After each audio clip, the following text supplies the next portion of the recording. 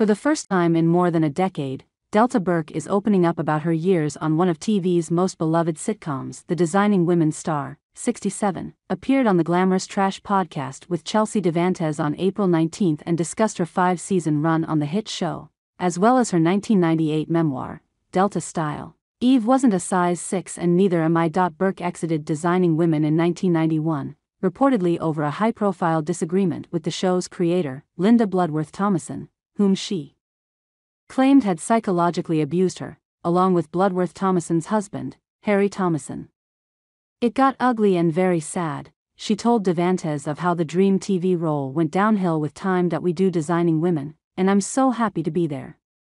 I love everything. But then things started to change, which I won't go into.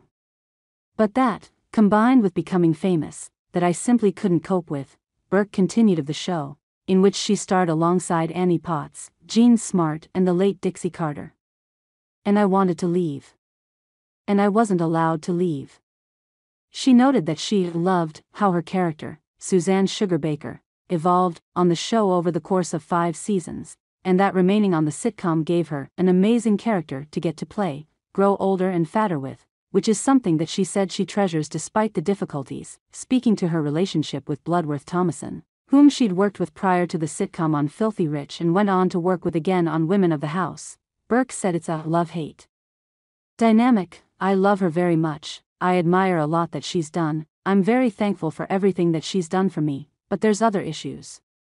Well, basically, we tried to kill each other, but you know, we survived.